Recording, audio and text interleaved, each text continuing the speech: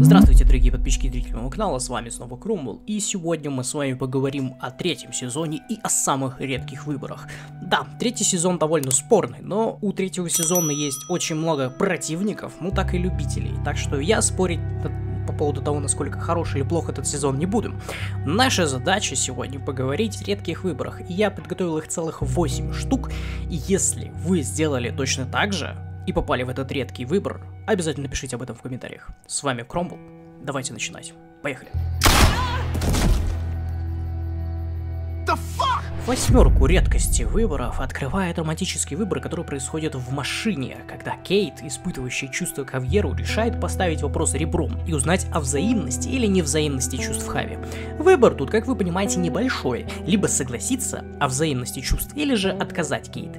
И вот как вы думаете, насколько часто люди выбирают? Что именно? Какой вариант? Да, конечно, если вы выбираете согласиться, то это самый частый вариант. 78% людей делают так же. А вот отказать Кейт могут лишь 22%. I guess you don't feel the same way. So, all those times you said stuff, I was just imagining it?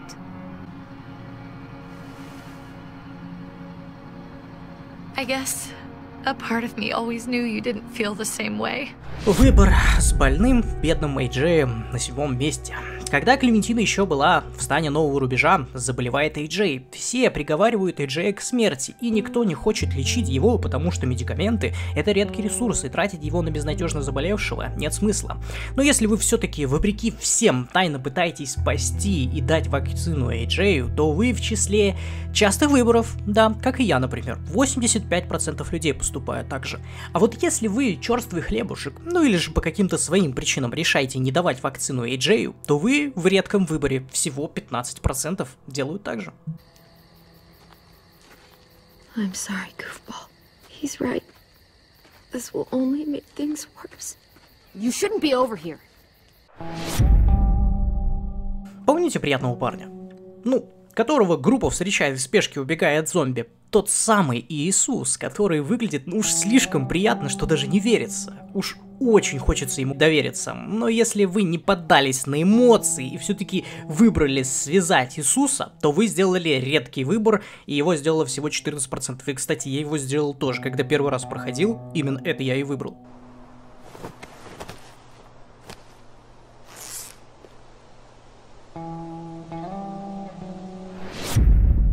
Неприятная ситуация, происходящая в тоннеле, когда Конрад узнает, что Клементина была в прошлом членом общины Нового Рубежа. Не так давно всех знакомых и родных Конрада убивают как раз эти люди из Нового Рубежа.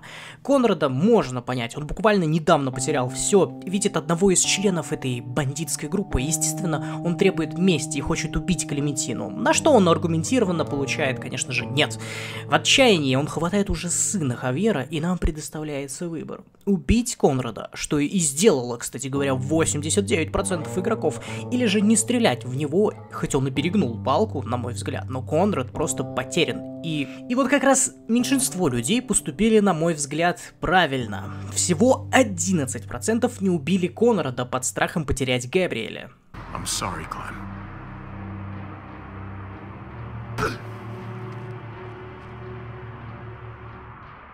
Fucking traitor. My family comes first. Как у вас умирал барсук? Немного раскрою карты, тут аж два редчайших выбора. Начнем с моего любимого и самого частого. В конце драки с барсуком нам дается возможность отомстить этому засранцу. И это вам не какой-нибудь The Last of Us их дерьмовыми нравоучениями о том, что хорошо, что плохо. В этой игре, если человек убивает твоего человека, то он заслуживает смерти. И более того, есть даже какой-никакой выбор, насколько жестоко это произойдет. For God's sake, Hobby!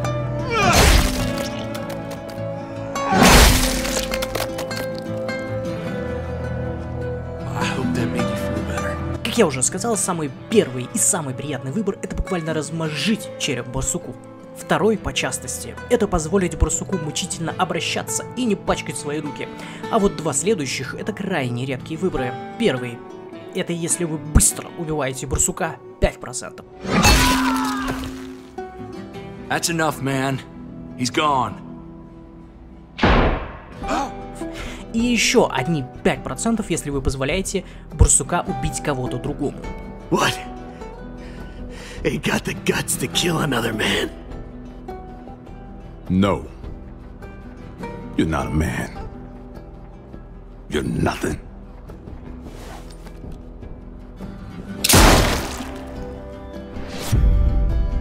Как далеко вы зашли, чтобы попасть в Ричмонд?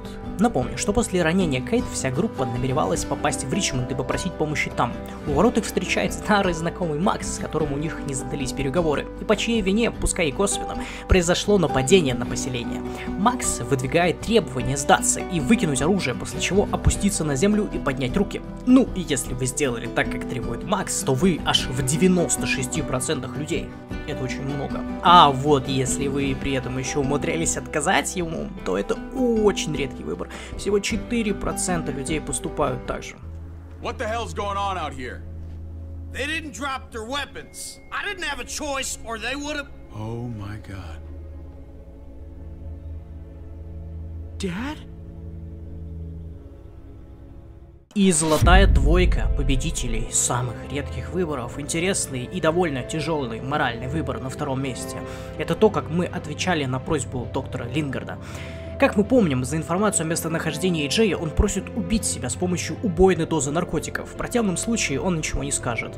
Но и убийцами мы после этого не будем. Если же вы выбрали помочь совершить самоубийство доктору, то это самый частый выбор – 52%.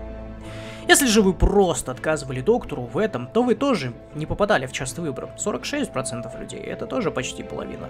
А вот если вы более сообразительны, то вы давали делать выбор самой Клементине, и тут, ребята, один из самых редких выборов. Целых 1% запятая 3 сотых. Вау. I'll do it.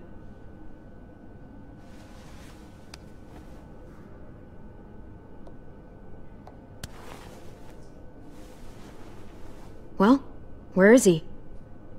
He's. He's at the McCarroll Ranch, a few miles west of here. He's really alive.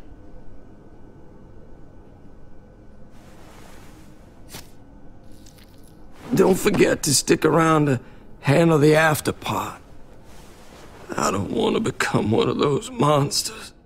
Ну что, самый редкий выбор всего третьего сезона. Он настолько редкий, что даже не набрал одного процента. Так мало людей выбрало именно это. Самый редкий выбор, набравший менее одного процента, а именно 0,8. Это то, как вы справлялись с людьми из нового рубежа ворот Прескота. На самом деле такой обычный момент игры и так редко выбирали именно это, при этом, что доступно целых три варианта. Самый популярный – это попытаться отбить заложников силы, 59%. Второй популярный выбор – это сдаться им, не ведя переговоры, тем самым пойти на уступки. А вот самый редкий выбор всего третьего сезона – это попытка вести переговоры до конца. Буквально единицы делали это 0.8%. Это крайне редкий выбор. Three, two. It's cool. I'm coming out. I'm all yours. Thank you. I don't know, man. Me neither.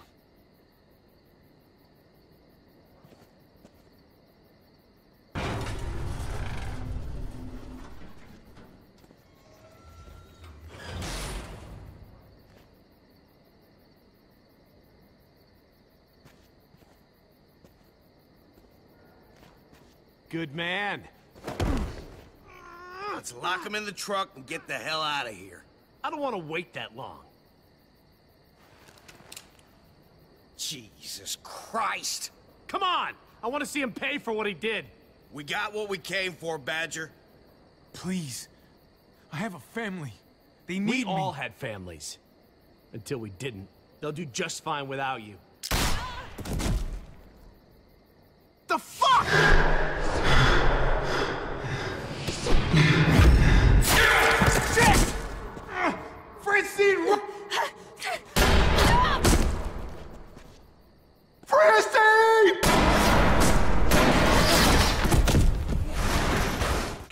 Спасибо, дорогие подписчики и зрители, что посмотрели меня. Я напоминаю, что это третья часть о редких выборов, а всего у нас в плане 4. Остался еще один видос, и он будет следующим. Если вам понравилось это видео, я надеюсь, вы уже его оценили по достоинству. Лайком, дизлайком, это не важно. Спасибо вам, ребята, большое. Увидимся уже в следующем видосе. С вами был Кромол. Всем спасибо, всем удачи, всем пока.